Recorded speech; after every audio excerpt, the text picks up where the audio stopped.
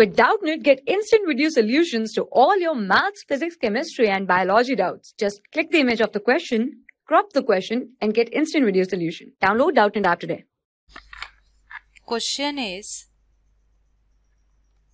The person of mass 50 kg slants on a weighing scale on a lift if the lift is ascending upward with uniform acceleration 9 meter per second square, what would be the reading of the weighing scale?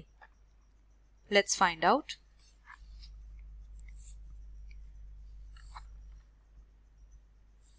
The reading on the scale the reading on the scale is a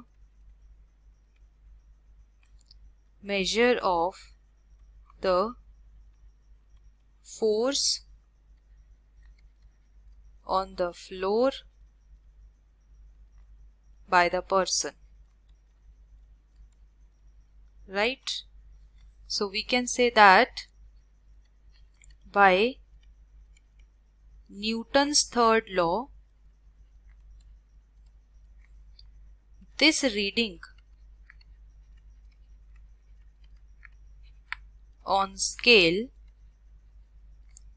is equal and opposite to the normal force N on the person by floor right?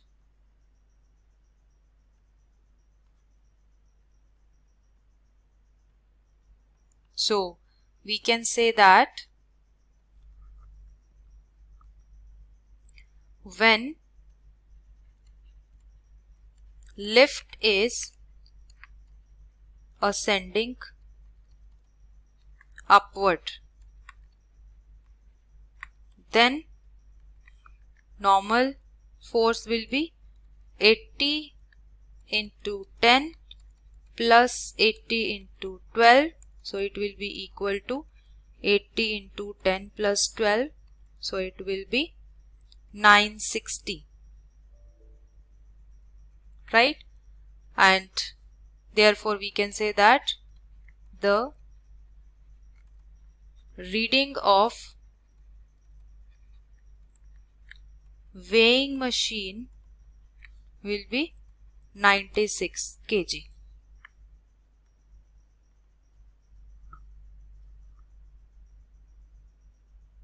So we can say that option number 3 is correct.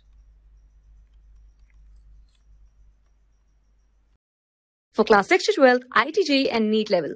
Trusted by more than 5 crore students. Download Doubtnut app today.